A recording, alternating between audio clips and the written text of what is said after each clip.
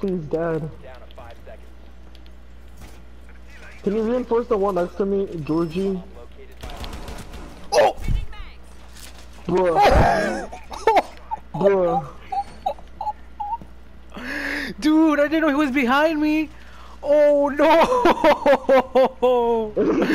oh no! Jesus, you're oh such a oh, bad person, shit! bro.